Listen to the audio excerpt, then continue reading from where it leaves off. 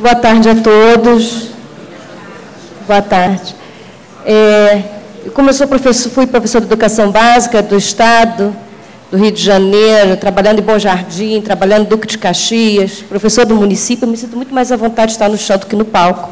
Então, peço licença à mesa para estar ocupando esse espaço dessa maneira. E até aproveito, nas minhas primeiras é, palavras, trazer um agradecimento no lugar de fala. Né? Eu acho que, assim, agradecer a Valéria Roque e a comissão científica, a comissão organizadora do evento, porque cada mesa, cada GT, cada coordenação de mesa, cada intervenção, cada apoio da monitoria está testemunhando aqui um evento que possivelmente vai falar sobre como e se a geografia vai ser ensinada e aprendida para Valentina, para Juan, para Francisco. Então, assim, a gente precisa entender que o que nós estamos tratando aqui nesses dias são sobre a aprendizagem das gerações futuras, especialmente a aprendizagem espacial, que é o que nos unifica aqui. Então, nós estamos tratando, sim, de processos identitários. Então, é, a proposta que a comissão colocou para a gente é versar sobre o currículo, políticas de currículo, e aí eu aproveitei nesse exercício de tensionar a ideia de nacional. Então, é interessante me colocar também nesse lugar de fala, porque são 11 anos que eu estou pesquisando na área de currículo. No Núcleo de Estudos de Currículo, NEC, fundado pelo professor Antônio Flávio nos anos 80, o professor Antônio Flávio, que também trabalhou muito aqui é, em conjunto com essa casa. Falar de currículo também na FMG também me traz desafios, porque essa casa tem produzido muitas pesquisas sobre currículo. Então, eu acho que é interessante, nesse momento aqui, é, de altíssima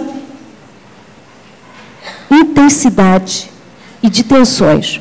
Porque então vou desejar a Lucineide, a professora Sônia, que tenhamos hoje uma tarde produtiva, saudável, que tra tragamos diálogos propositivos. Porque tratar de reforma curricular sempre será um engodo. A reforma curricular, ela divide mais do que une, porque todos querem ter as suas reivindicações satisfeitas. Então, ao invés de eu começar aqui e falar sobre a base e o currículo, eu tomei como estratégia de falar do nacional o nacional como metonímia de comum. Então, o nosso interesse aqui, nesses minutos, são dois. Problematizar o currículo para além do objeto e identificar estratégias para problematizar o currículo. E a estratégia, no meu modo de ver, é a gente começar a desfazer, descolar a ideia do nacional ao comum. E eu acho que a epistemologia da geografia tem contribuído há décadas a respeito da escala. Então, quando nós falarmos de nacional, nós estamos falando, sim, de processo de produção de subjetividade. Eu acho que o André, olhando aqui para ele, é um cara que também vai falar, certamente, na mesa de, a respeito de representação espacial e, e, e a partir de produção de subjetividade. Então, indo mais, eu queria convidar vocês, então, nesse momento, a problematizar currículo. Sou eu, né? Esse ponto aqui que eu queria chamar a atenção. É, a estrutura do texto, ela ficou, e como eu chamei, é uma análise empírica. Então, eu vou estar comparando textos curriculares. A comparação, entendendo, gente, que o currículo não é apenas documento. Tá? Os textos curriculares são múltiplos. Eles vão desde o diário do professor até um documento da Unesco do Banco Mundial. Mas as intencionalidades, elas também obedecem às escalas. Então, é interessante a gente observar aqui, no meu ponto de vista, nós da geografia temos uma grande contribuição para a escala como categoria da prática. Essa aqui é uma discussão que o professor Rogério Rasba, Ademur já estão travando há muito tempo. E uma análise da decisão curricular. Só voltando aqui, toda vez que nós estamos tratando da definição do nacional, nós estamos tratando de uma decisão curricular. Então, não é por acaso que o meu ponto de interesse aqui, ele conversa muito com a fala da Valéria hoje dentro do GT. A Valéria usou o substantivo chamamento. nós estamos, mais do que na hora, de fazer a discussão do currículo de geografia para além do objeto. Nós estamos, não é que não façamos a discussão curricular, mas nossa discussão curricular muitas vezes é endógena. Nós deixamos de dialogar com produções curriculares de pesquisa no campo do currículo para trazer as nossas tensões. E vejam bem, nós estamos em quê? Uma comunidade disciplinar. Observe que nossas estratégias de sobrevivência nas escolas, elas passam pelo currículo e passam pela identidade que oferecemos à geografia. Então, não são coisas descoladas quando a Lucineide está colocando a respeito das licenciaturas com as reformas de educação básica. Mas o que eu quero chamar a atenção que quando eu estou falando de currículo aqui, eu não me restringo ao documento. E aqui eu convido vocês a pensar, a provocarem, digamos assim, porque pensar é, é, é, é mais, mais, do que pensar, é provocar mesmo a ideia, essa, esse conceito de currículo como espaço-tempo de fronteira cultural da professora Elizabeth Macedo, e o conhecimento escolar como elemento incontornável do currículo. Vejam que muitas vezes a gente está nomeando o conhecimento escolar como conteúdo, como listagem de conteúdo. E eu acho que está mais do que na hora também da nossa comunidade disciplinar entender que o conhecimento escolar é uma categoria que ela está em jogo no momento das reformas curriculares. Outra questão que eu quero chamar a atenção é que o currículo ele é perecível. As decisões curriculares elas são respondidas pelas contingências e como os grupos de interesse se articulam para a decisão curricular. Então, é óbvio que é interessante a gente pensar o currículo, e aí a gente está trazendo uma dimensão da política de currículo, que é muito tensionada pela teoria política do Ernesto Laclau, que é a ideia de contingência, da produção do antagônico. O tempo todo, quando a gente está defendendo uma proposta curricular, nós precisamos de delimitar quem são os antagônicos daquela proposta curricular. Ao mesmo tempo, é interessante colocar aqui que todos os documentos curriculares, eles são híbridos. Os documentos curriculares, eles necessariamente precisam ser híbridos. Por quê? Porque eles vão tentar reunir diferentes demandas, diferentes reivindicações sobre o que merece, o que é passível de ser ensinado para gerações futuras. Então, vejam, quando nós estamos tratando de currículo, a dimensão política ela é o que anima as decisões curriculares. Não há como separar a dimensão política do currículo. Ao mesmo tempo que eu quero chamar a atenção de, eu quero que, que essa provocação, o currículo para além do objeto, estejam presentes não só na minha fala, mas também nas intervenções. Por que, que isso é importante? Porque quando a gente vai discutir a base, ou discutir a reforma do ensino médio, nós gostamos de, nós da geografia, estou me incluindo, de sempre delimitar os atores institucionais da decisão curricular. Mas a decisão curricular, ela está, por exemplo, naquele aluno que está dormindo naquela aula. Ou aluno que tergiversa aquele, aquela prova. Por quê? Porque a decisão curricular, ela não está delimitada exclusivamente nas instituições. Então, voltando aqui, estou indo para frente, né? senão, senão, o Antônio já me expulsa.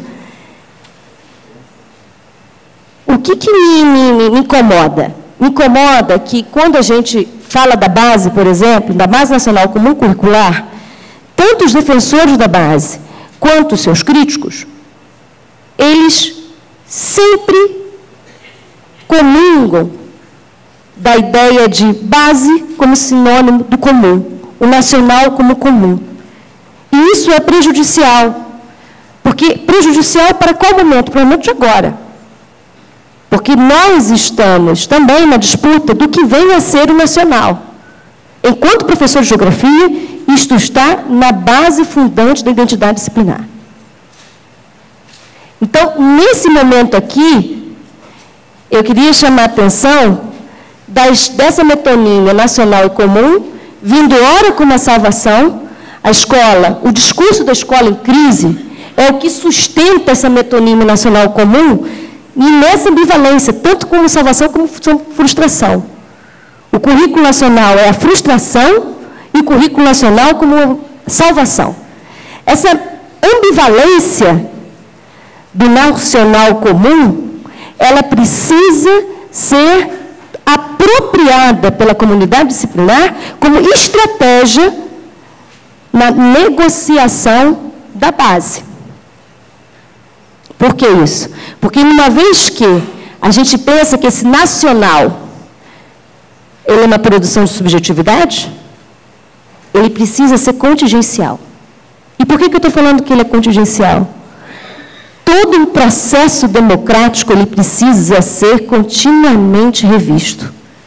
O currículo precisa ser perecível, porque ele precisa abrigar diferentes demandas que não foram colocadas, por exemplo, na primeira versão. Por isso que na hora da negociação, se vai ser o currículo em escala nacional, eu preciso ter um cronograma de quando haverá revisões. Então, o entender que o currículo tem uma validade, isso é fundamental para o processo democrático. Então, a nossa luta é entender que essa sinonímia nacional comum, ela não é nem salvação, ela não é nem frustração. Então, nossa proposta aqui é provocarmos para a cidade nacional como uma possibilidade. E aí, gente, eu tomei aqui, a gente vai começar agora, assim, como eu sou professora, eu gosto de fazer esses momentos de interação de aula, eu vou trazer algumas provocações fazendo análise da imagem. Estou até assim, meio cabulada, porque tem aqui o André, tem aqui a Mariana, gosto de trabalhar com representações, então eles vão ficar me avaliando depois. Mas eu vou começar com essa ideia da, da, da ambivalência entre a frustração e a salvação com o rosto de Mia Farrow. Né, não quero fazer spoiler do filme Rosa Púrpura do Cairo, mas o filme, de certa maneira, ele opera o tempo todo com esse paradoxo entre a salvação e a frustração. Então, o rosto de Mia Farrow, de certa maneira, aqui, ele está sendo uma metáfora para a gente que, de certa maneira, as análises da BNCC no campo disciplinar de geografia têm operado agora com, essa, com esse paradoxo da salvação e da frustração. Então, em determinado momento, e aí eu estou doido para fazer spoiler do filme, mas eu estou me segurando, a genialidade, a genialidade da Dode Allen está justamente disso. É que o filme termina sem terminar. Justamente porque o paradoxo né, da personagem Cecília, ela não é resolvido. O enfrentamento de Cecília não, não começou. Ela apenas inicia, mas aí a frustração a leva para uma saída que retorna ao ponto inicial. Então, esse ponto de definir o nacional como comum para a gente precisa ser rompido. E aí, não é por acaso que eu coloco esse paradoxo de Cecília ao lado dessa, da, da imagem que o próprio caderno técnico das audiências públicas adotou para didatizar as etapas da Base Nacional Comum Curricular. É uma figura geométrica, concorda comigo? Em que traz para a gente uma sensação de que de que é as garantias de solução, né? O, o, é, e outra coisa, uma questão interessante que do triângulo equivalente, não era isso? Todos os ângulos são iguais e ao mesmo tempo que eu queria chamar a atenção é a orientação.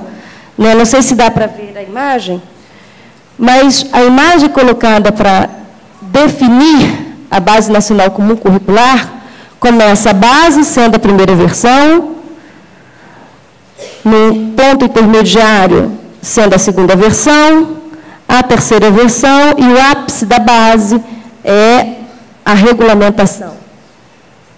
Vejam, é interessante a gente pensar os processos de implementação da política curricular também como processos de disputa de comunicação. A forma como eu defino como será a implementação de uma política curricular, ela traduz os interesses do próprio currículo. Quando você está colocando que apenas que esse currículo ele está vindo da base, de certa maneira ele projeta uma ideia de que a consulta ampla foi atendida. E o que, que a gente falou lá do início? Esse nacional ele precisa ser perecível. Há uma questão também muito problemática, porque a gente sabe que as etapas, embora comuniquem de uma forma muito coesa, como está sendo deliberado, a gente entende que o currículo nacional ele precisa ter não apenas o ápice como processo deliberativo, todo ele precisa ser deliberativo. Então, a gente tem na implementação das políticas curriculares uma marca mais consultiva do que da deliberação. Isso também, gente, mostra também uma outra questão, que são as, as necessárias descontinuidades que o currículo nacional precisa ter. Se o currículo apenas é deliberado no momento final, ele garante, ele traz uma ideia de que aquele currículo não será perecível. O currículo precisa ser perecível, é isso que eu estou defendendo para vocês. Com essa imagem, de contraste entre a Cecília e a base, eu queria chamar, provocar vocês, que no meu entendimento, o nacional como possibilidade, e não o nacional como comum, está nessa serigrafia do Cirão Franco, que tem, que tem um título muito apropriado para a gente, que é Peles e Tripas do Brasil. É, não sei se dá para ver, mas assim, mostra o quê? Texturas, fluxos. É o tecido de fluxos, texturas, descontinuidades. Isso, para nós, é importantíssimo no processo de definição curricular. É observar que as reivindicações, elas são desiguais. Os sujeitos que fazem suas reivindicações são organizados de forma muito distinta. 15 minutos? Beleza. São organizados de uma forma muito distinta.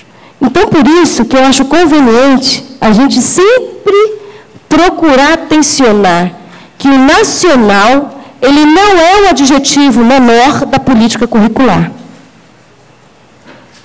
E eu convido vocês a re, que, que ao relaborar a ideia de nacional, a gente pode trazer um, um, uma nova agenda para repensar o ensino da geografia. Porque tem dimensões no país extremamente desigual, como o Brasil, em que as texturas são múltiplas. Os fluxos são descontínuos. Então, você entender que no país de tripas e peles muito distintas, esse currículo nacional ele precisa ser constantemente revisto.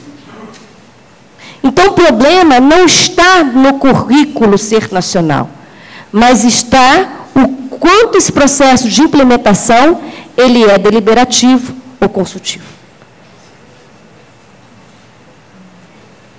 E aqui, mais uma vez, nos importa o jogo de imagens. Eu procurei, no texto, trazer as definições da base desde 2015 e contrapô-las a esse documento, Glossary of, Term of Curricular Terminology, né, o Glossário de Terminologia Curricular da Unesco, lançado em 2013.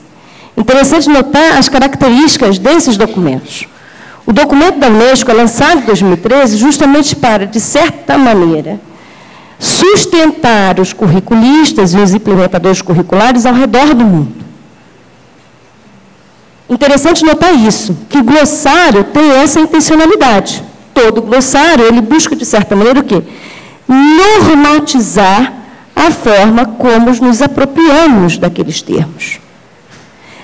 E aí que entra uma grande. Uma, ele, o interesse que eu tenho pelo currículo e, e, mostrar o quanto que o currículo ele precisa de ser o tempo todo é, entendido na sua complexidade. Você não consegue trazer soluções curriculares numa tacada só. Por quê? Porque o próprio glossário ele vai trazer diferentes dimensões, inclusive para a ideia internacional. O próprio glossário já você analisando o glossário, já evidencia que você precisa, precisa ver várias escalas de deliberação. O próprio glossário já nos anuncia, até mesmo na sua própria capa, que apesar de ter o interesse global de normatizar, não há consensos. Não há consensos. Então, esse documento, ele nos é interessante, por quê? Porque, de certa maneira, ele diverge com a própria gramática curricular brasileira, que normatizou o nacional como comum. E mais interessante ainda é quando a gente contrapõe os logotipos da base. Né? Vocês observem que o logotipo das primeiras versões é o logotipo que busca, de certa maneira, anunciar uma diversidade, anunciar a ideia de síntese. Também isso é outro interessante. A ideia do nacional como comum, ele tem uma promessa que é muito sedutora, que é a promessa da síntese. É só se vocês observarem, nós somos muito seduzidos por falas, por comunicações, em que elas trazem mais afirmativas do que indagações. Então, a base, a ideia do nacional como comum, e ter essa ideia do nacional como totalizador, como síntese do Brasil, ele é proposto na, na, no logotipo da primeira versão. Agora, é interessante observar também o logotipo da versão vigente, em que ele traz uma ideia monocromática e escalonamento. Né? Você tem a bandeira né, do Brasil, que de certa maneira é representada, e, novamente, a dimensão piramidal da base. Eu acho que esses logotipos, eles também comunicam para a gente os próprios projetos de governo que sustentam a base. E ambos se articulam ao glossário produzido pelo Unesco. Não é possível, questão de avaliação, direito de aprendizado, expectativa de aprendizagem, competências, são, são, fazem parte da gramática curricular global. Então, às vezes, eu acho também muito perigoso, nós da geografia, não tensionarmos o debate curricular sempre também de uma forma endógena, pautando-se sempre na, na, na questão da configuração política nacional. E justamente nós, da geografia, precisamos trabalhar na multiscalaridade quando tratamos de políticas educacionais. E aí, eu acho que essa conversa, aqui, se der tempo, se o Antônio me permitir, eu queria problematizar agora alguns verbetes. Você deixa? 15, então tá, obrigada. 10. Tá, tá bem. Olha só, eu coloquei aqui, por que, que é essa definição do currículo? Essa aqui é a definição do currículo da Unesco, e eu vou tentar ler aqui, que minha voz não está muito boa, mas eu vou tentar ler. Só um detalhe. A, a ideia do nacional aparece em vários verbetes, tá? Esse aqui é um fragmento do currículo nacional, no glossário da Unesco. O currículo pode ser visto também como um acordo político e social que reflete a visão comum de sociedade, enquanto leva em conta as expectativas e as necessidades do local, do nacional, do global. Então, contemporaneamente, o desenvolvimento curricular e o crescente processo de reforma envolve a discussão pública e a consulta de uma ampla configuração de partes interessadas. O desenho curricular tem desenvolvido tópico de debate considerado frequentemente com perspectivas conflitivas, engajando políticos, especialistas, profissionais da área e sociedade como um todo. Então, vejam vocês, no momento da definição do próprio nacional, do currículo nacional no cursado da Unesco, já está anunciada ao que é a ausência de consenso. Isso eu acho fantástico. Então, assim, se a gente tem alguma ilusão de que o currículo nacional virá para o consenso, esqueçam. Currículo é mais do que um objeto de disputa, um objeto de guerra. Mas a gente precisa trazer a ideia da negociação permanente. Porque segunda-feira muitos de nós estaremos, estaremos formando professores e eu quero que também meus, meus filhos aprendam geografia. Veja mais uma vez que eu gostaria de chamar a atenção dessa ideia de partes interessadas. Veja que a ideia de currículo, ele sempre é uma discussão pública. Ele está falando isso do glossário da Unesco. O que, que significa por público? Eles estão ampliando muito bem. Público não é apenas o Estado. E público não exclui, não exclui privado, mas também não coloca o privado como hegemônico. Vejo outra questão, que, por que eu também trouxe o, o filme Alô Amigos aqui, o Pato Dontes conversando com o Zé Carioca, porque nessa uh, stakeholders é o subjetivo colocado também com partes interessadas, pode traduzir com partes interessadas. Stakeholders também significa acionistas. Então é óbvio que a negociação curricular ela é complicada, porque numa sociedade capitalista quem porta-voz vai ser o hegemônico. A questão é, quando você torna, numa sociedade democrática, tornar esse nacional perecível é uma estratégia política do maior interesse nosso. Agora a luta tem que entrar na agenda a data da revisão das políticas curriculares. Vejam aqui que eu queria chamar a atenção, estou me encaminhando já para, o final, tem tempo? Tem dez minutos ainda? Que bom. Tá bem. Eu, tô, eu não gosto de, de, de tomar tempo de ninguém. Eu queria chamar a atenção, assim, na comparação entre as definições da base, nas duas versões. Né? Na versão do governo Dilma, que eu estou chamando duas versões, não é versão 1 e versão 2, mas eu chamo de versões de governo mesmo a proposta vinda no governo Dilma e a definição vinda da, do inominável. Né? É, a base será mais uma ferramenta que vai ajudar a orientar a construção do currículo das mais de 190 mil escolas de educação básica do país, espalhadas de norte a sul, públicas ou particulares. Observem que, vejam como a, a, a escala ela é presente na definição. A decisão curricular e escala são um, elementos incontornáveis de qualquer discussão de política educacional. Continuando.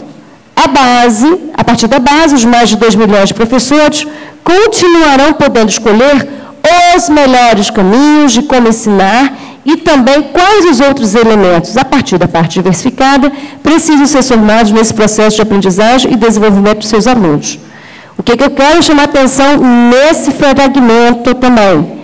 Que a base, e isso não é uma exclusividade do Brasil, qualquer proposta de currículo nacional, ele tem esse, essa verve totalizante. Mas, além disso, ela carrega uma promessa de que a reforma curricular, e isso quem fala muito bem, Alice Casimiro Lopes, ela sempre vem com uma promessa de melhoria da qualidade da educação. E aí é que está a nosso, nossa questão. Observe que a própria definição da base, tudo isso respeitando a diversidade, as particularidades os contextos de onde estão, leve em consideração a escala local para revisão do próprio documento. E é esse ponto que eu gostaria de comparar com a definição vigente. Observe que aqui, na definição vigente, tem muito uh, uh, elementos, tem muitos elementos que são próximos à versão anterior. Mas aqui ao invés de deixar, enquanto na, na versão do governo Dilma, deixem aberto a ideia de parte diversificada no contextos em que estão, ali, e isso é uma marca dessa versão, o tempo todo tem a matriz institucional. A decisão curricular partindo da escala do da prefeitura, da, do, do, do, do governo estadual. Então, observe que aí você tira o quê? Você tira a escola, a comunidade escolar e mais o projeto político-pedagógico para a definição da parte diversificada. não estou dizendo que há uma negação, mas a análise, você vê a força que, no momento da ideia de diversificado, o peso do diversificado vai para uma articulação discursiva que defende a instituição para a decisão curricular. Enquanto a versão do governo Dilma, ela deixa nesse ponto mais fluida para as decisões em, em escalas locais. Vejo aqui, por exemplo, espera-se que a base ajude a superar a fragmentação das políticas educacionais, com o fortalecimento do regime de colaboração entre as três esferas de governo, que seja também balizadora da qualidade da educação, isto é, garantia de direito dos estudantes a aprender e a se desenvolver, contribuindo para os alcances da meta do Plano Nacional de Educação. Então, observe que a matriz institucional ela é fortalecida nessa definição da base. E aí, eu estou me encaminhando para o final. Vou pedir para o Roberto e para o Enio, que são meus colegas, cantarem. É, eu, por que, que eu me sinto aqui muito responsável é, tá bem, de estar nesse momento? Porque eu sou, como eu disse para vocês, fui professora da rede estadual do Rio de Janeiro, município de Caxias e redes que estão é, extremamente violentadas.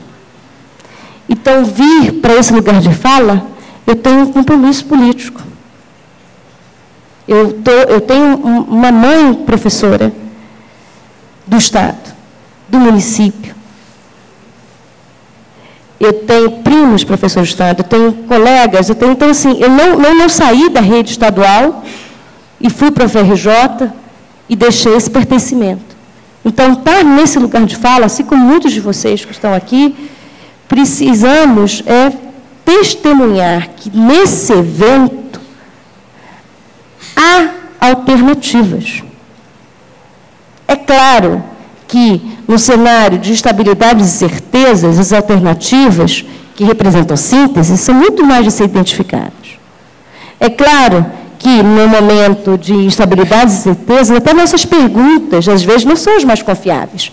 Mas a gente precisa, nesse momento aqui, e por isso que eu trouxe estampada uh, o adesivo da, da campanha da, do GT de ensino do Rio, da GB Rio, é, das nossas atividades que, vai, que teremos lá no Simpro, a quem interessa uma escola sem professor de geografia, do movimento pelo ensino de geografia, e porque há necessidade que nós, em diferentes escalas, a necessidade de construção de uma agenda permanente, de uma contra-reforma curricular. Essa contra-reforma curricular, ela é fundamental para pensarmos estratégias de resistência da geografia na escola.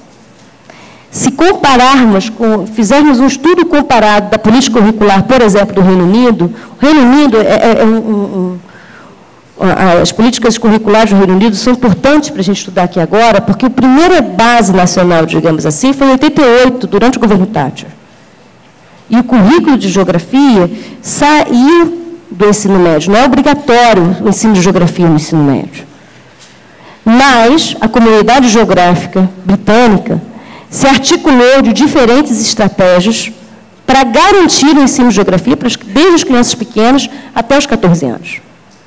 Então, vejam, aqui a minha fala, quando eu falo de que precisamos de um nacional perecível como possibilidade, é sinalizando a necessidade de táticas de uma agenda permanente da contra-reforma curricular. Espero que a gente continue com esse debate, gente. Obrigada.